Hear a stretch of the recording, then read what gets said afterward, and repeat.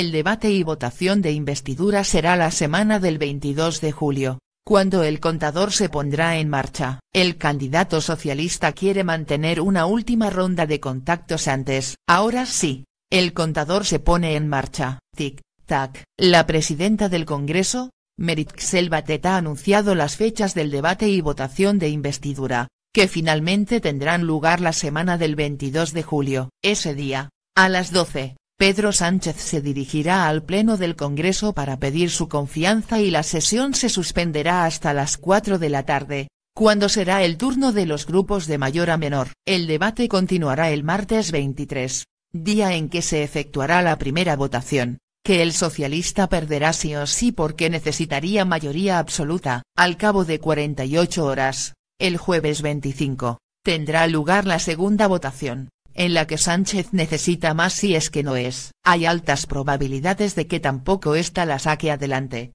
lo que obligaría a convocar una segunda sesión de investidura en septiembre que, de fracasar, abocaría a unas nuevas elecciones generales el domingo 10 de noviembre. La propia Batet ha reconocido en rueda de prensa que el cálculo tiene que ver con unos nuevos comicios, porque si la investidura hubiese sido fijada la semana del 15 de julio, las hipotéticas elecciones tendrían que celebrarse el 3 de noviembre, en pleno puente de Todos los Santos. No obstante ha añadido que el objetivo es que esta investidura prospere. Sánchez ha apurado Julio con idea de aprovechar estas semanas para una nueva ronda de contactos con los portavoces de los demás partidos. En principio esta será similar a la primera, él citará a Pablo Casado, Pablo Iglesias y Albert Rivera y dejará a José Luis Ábalos y Adriana Lastra las reuniones con el resto de dirigentes. La clave para desatascar la investidura está en un acuerdo con Unidas Podemos que no llega por el enconado pulso que mantienen Sánchez e Iglesias por la presencia de ministros morados en el gobierno. En el PSOE cunde la sensación de que su jefe de filas está dispuesto a aguantar el pulso al líder de Unidas Podemos hasta las últimas consecuencias